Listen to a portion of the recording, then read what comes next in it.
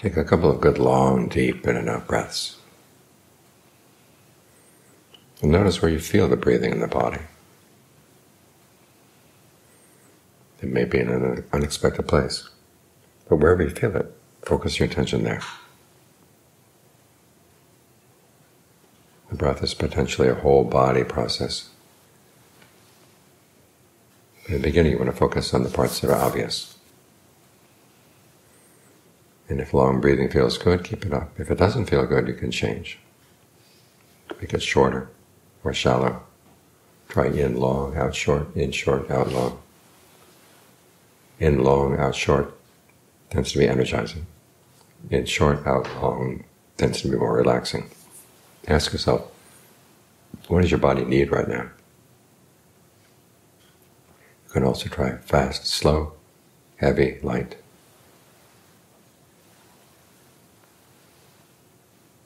Get a sense of what the body needs and how you can provide for those needs by the way you breathe.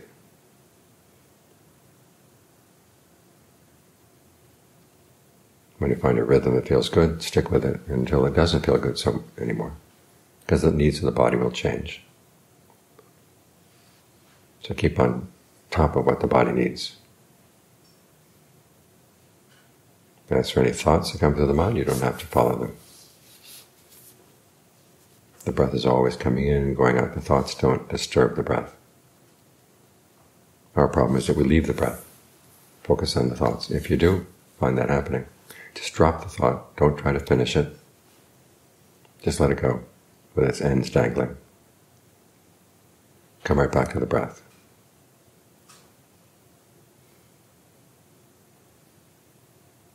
No matter how many times you wander off, just keep coming back, coming back. When you come back each time, reward yourself with a breath that feels especially good. That way the mind will be more and more inclined to want to come back.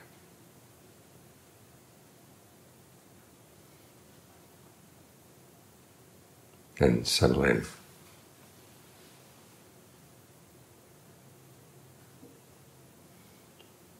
And as the breath feels comfortable, sometimes there is a tendency to blur out, to focus on the comfort and scent of the breath, in which case you lose the foundation for your concentration. So you find that happening. The next step is to be aware of the whole body as you breathe in and breathe out. And a good way to build up to that whole body awareness is to go through the body first, section by section. And start down around the navel. Focus your awareness there. Watch it for a while as you breathe in, breathe out to see what rhythm of breathing feels good there. If there's any tension or tightness in that part of the body, allow it to relax. So that no new tension builds up as you breathe in. You're not holding on to any tension as you breathe out. Stay there for a while, then move up to the solar plexus, the middle of the chest, base of the throat,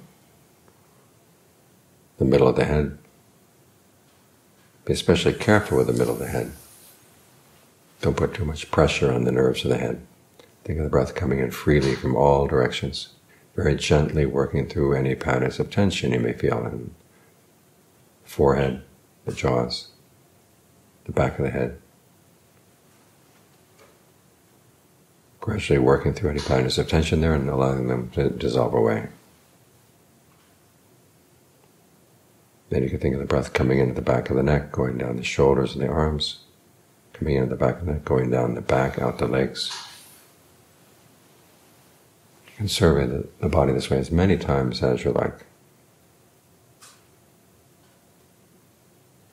Even if you're an old hand at meditation, it's good to make a body survey like this once a day, just to see what needs to be done. To give the mind a good place to stay. Just want to be as much aware of the present moment as possible. And if you can create a sense of ease and well-being in the present moment, it's a lot easier to see what's going on. Because we're always forming our intentions, our desires right here. And if we're not present for them, then they go on automatic pilot.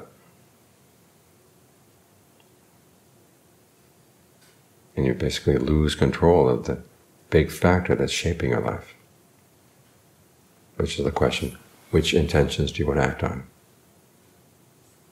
There are some things you like to do, but you know will give bad results down the line.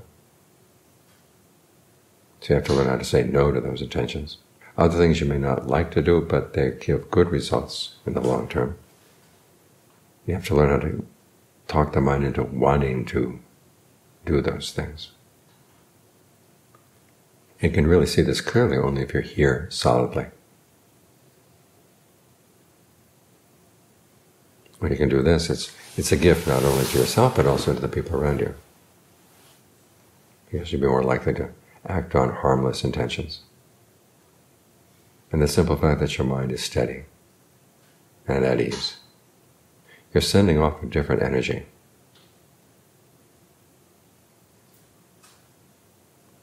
We had a death in the community yesterday.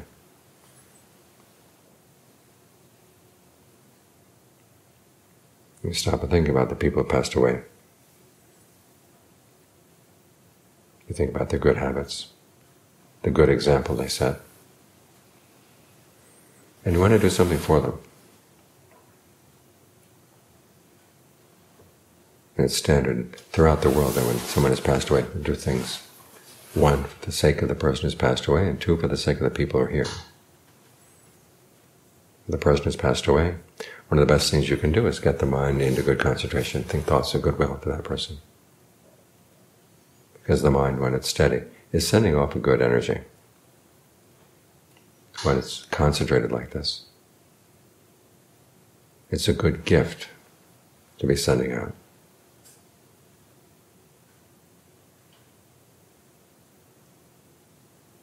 You think of Shotai, wherever she is right now, may she be happy.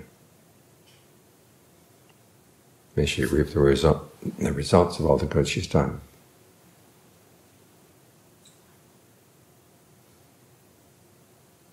But at the same time, we think about the people who passed away as a way of warning ourselves. As the Buddha said, the source of all goodness, the source of all skillful actions is heedfulness. The realization that your actions really do matter, and they really do make a difference between happiness and suffering, pleasure pain. And as in Shotai's case, her death was totally unexpected. There was no illness leading up to it. Seems to have been an accident. There's no forewarning. The sun didn't rise with her name on it that morning. And the same for us. We have no idea when we're going to go. the question is, what are you going to take with you when you go? And how are you going to face the prospect of having to leave this body? You're going to need a lot of good mental qualities. And you're going to need to be able to keep your mind under some control. So that's what we're learning here as we get the mind to settle down. Because other thoughts will come up and you have to learn how to say no.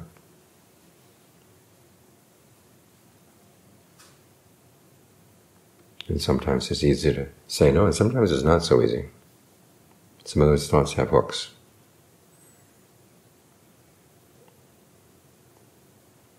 So you want to be able to catch the mind in time before it starts weaving more of those thoughts. Get back to see, well, what's the hook? The Buddha calls this assada. Pali term means allure. Sometimes it's translated as gratification. Some thoughts come up and they just go right past you.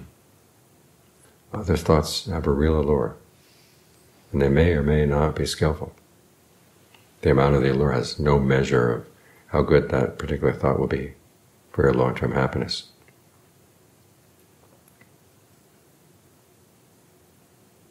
And some of the thoughts are brand new, and others are old thoughts you've thought many, many times in the past. So you have to put the mind in a position where it can question the allure. This is another one of the reasons why we concentrate and try to get a sense of well-being in the present moment.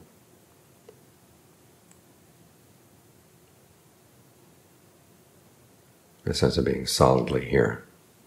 When you feel solid, you feel safe, secure. Then you can look at these thoughts and question the allure. And you're in a position where you can question it. If the mind is hungry, dissatisfied, ill at ease, it doesn't question things that it finds appealing. It just goes for the appeal.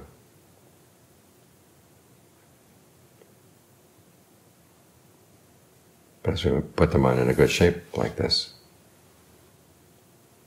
centered but broad, because after you've done your survey of the body, you can settle down in one spot. Choose any spot in the body you like. And then think of your awareness spreading throughout the whole body. And then think of the whole body breathing in, the whole body breathing out.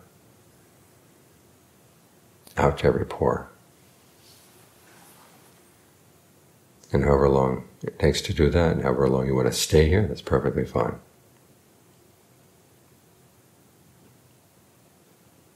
Because getting the mind concentrated like this, with a broad range of awareness but a clear center, it's healing for the body and it's healing for the mind. It's like a medicine, like a cream you put on a rash. You don't put the cream on and then wipe it right off. You put the cream on, you let it stay there.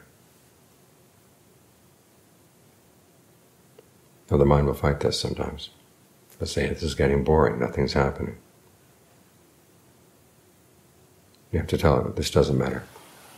What matters is you're learning a particular skill, how to stay with one thing, how to set up a good intention and stick with it.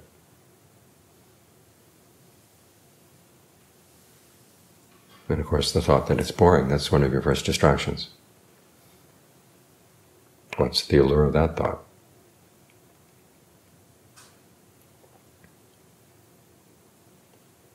The Buddha says you look at the allure and then you compare it with the drawbacks of following that kind of thinking. And if you really look fairly, you can see that the allure is pretty weak. The drawbacks are pretty strong. That's when you can let it go. Like that analysis that the Buddha had right now. These thoughts come up. Are they constant or inconstant? Well, they're inconstant. The word anicca, sometimes translated as permanent or impermanent. That translation doesn't quite get to the meaning. Anicca is the opposite of anicca. Nicca means something you do repeatedly, constantly. If something is inconstant, it's undependable. That's what the Buddha is getting at. There are certain things out there that you know are impermanent, but compared to your life, they say, well, the mountains over there, they may be impermanent, but they're permanent enough for me to build a house. But if the mountains are shifting all the time, and that's what inconstant means, then you realize that this is no place to build a house.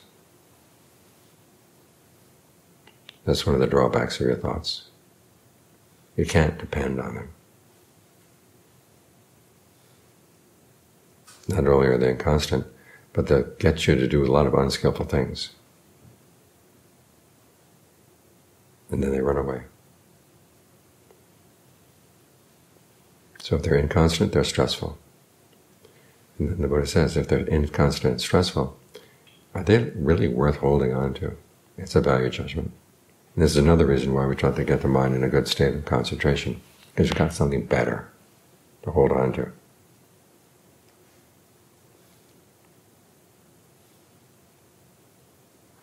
So you compare the allure with the drawbacks. And you can do this many, many times because all too often, the allure is something the mind is afraid to admit to itself. And so it'll lie to you when it talks about the allure. So you find that you let go of this particular kind of thought, and it comes back, which means you haven't really seen the allure. So you have to question it again. Because the allure may not be simply that it's pleasant, Sometimes we have a sense of obligation for certain ways of thinking. We just feel, if I didn't think in these ways, I wouldn't be me.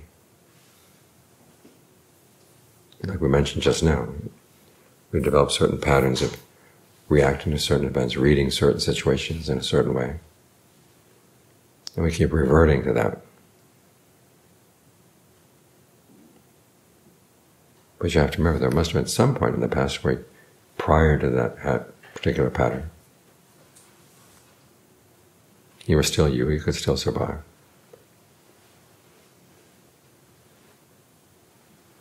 So it's good to think of these voices in the mind as being members of a committee.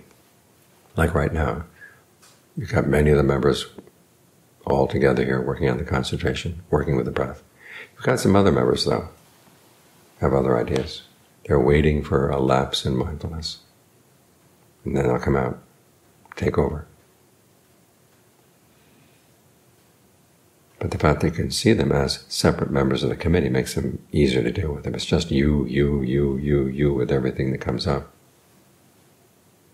you feel like if you drop these things, then you're dropping part of you. If you understand, the mind creates lots of different senses of self around its different states of becoming. You've got a whole stable in there. And you don't need to keep all the horses in the stable. Some of them are getting old. Some of the troublemakers. Those are the ones you can put out to pasture.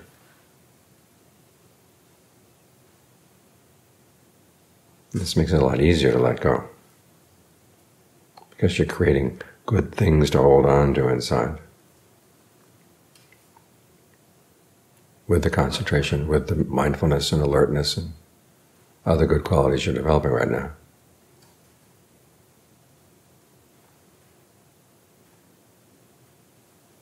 So you can step back from a lot of your attachments and see, I really don't want to believe that anymore. I really don't want to go there anymore.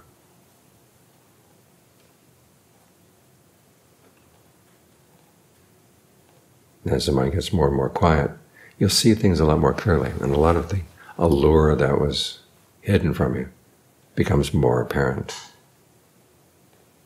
These things come very quickly in the mind. So if there's a lot of background noise in your awareness, they can hide in that background noise. You don't see them. But things get really, really quiet, and you get quicker and quicker at detecting when a thought begins to stir. You can begin to see why you go for it.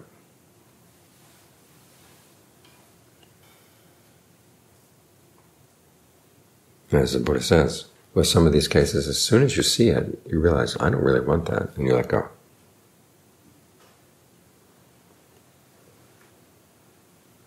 Other times you have to reason with yourself. So the discernment here, it's one of the reasons why there's no one discernment method or one insight method. In fact, the Buddha didn't give any methods at all, aside from asking you to question things. Why do you go for that? What are the results? The questions are very basic. And it's good that we keep things basic. If we get very abstract, a lot of things can hide in the abstractions. This is one of the reasons why the Buddha was such a pragmatic teacher. You can think about it. What he saw on the night of his awakening and the seven weeks afterwards was all pretty amazing. He could have spent the rest of his life talking about what an amazing thing awakening is. But he realized that wouldn't accomplish anything. Instead, he spent all that time teaching the path so other people could have the same experience themselves. So this is where we focus on the workings of the mind like this. to see where we're being foolish. As the Buddha said, discernment comes when you ask the question, what would I do will lead to my long-term welfare and happiness? What would I do will lead to my long-term harm and suffering? You see that your actions are important and that long-term well-being is possible. It's better than short-term. Basic, basic wisdom.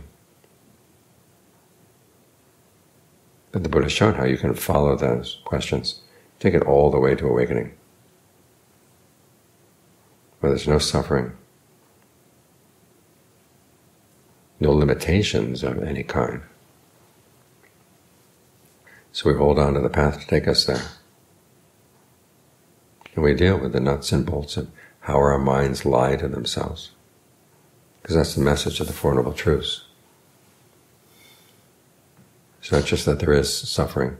Suffering is the things we cling to, and we think we're getting something good out of them, and yet we're suffering. So our ignorance is not just innocent not knowing. We're lying to ourselves. We're ignoring all the suffering we're creating.